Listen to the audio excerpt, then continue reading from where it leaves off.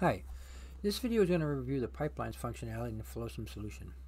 Pipelines are the way you get your true CI/CD automation within the Flosum solution. Pipelines, once configured, they are templates that can be used over and over again.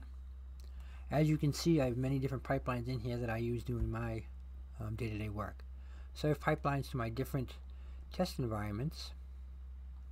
I have my production pipeline, and I also have my back promotion pipeline that I use to push changes back to my sandboxes once it has been successfully promoted to my production environment.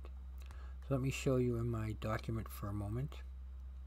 Once I deploy these three features to production, these two features are missing from branch A, etc. So I need to make sure that all of these changes that were released together are now back down in all my sandboxes. So I would lose, use that back promotion pipeline to push all my changes back to all my sandboxes. This way everything will be kept in sync with the latest changes, so going forward, when this developer works on his next branch, he will have all of these changes in here as well. As well as any hotfixes as well, the same process. Any hotfixes that are pushed out, you would back promote down here as well. So very, very easy and powerful way to keep all of your environments in sync. So how the pipelines work, I will show you a production pipeline. So you see we give you a little chart of what's going on in this pipeline. So what we're doing here, from one button press, it will validate my deployment. If my validation passes, it will deploy it automatically. If my deployment passes, it'll stop because there's nothing else required. But if it fails, it will then go back and do my automatic rollback to that previous version.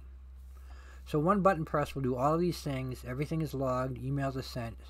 So I don't have to go in and validate, wait for it to be done, deploy it, wait for it to be done, then oh, I got to roll it back. So it makes it very easy to push a button, get this started, then you can go on do other things while you're waiting for this to be deployed. So again, another uh, powerful way to do these functionality, but also save you time so you don't have to worry about all these different steps. They'll be executed automatically for you, and you will get the results via your email once it's completed. As I said, the back promotion pipeline, I have multiple orgs in here, so I do not have to deploy to just one org. I can list many orgs in here. So right now I have my four sandboxes in here that I'm going to push these changes all back to. So very powerful and very flexible on how you do these pipelines to really make it easy for you to deploy your changes from any org to any org or any number of orgs based on what your policies and procedures are. Thank you.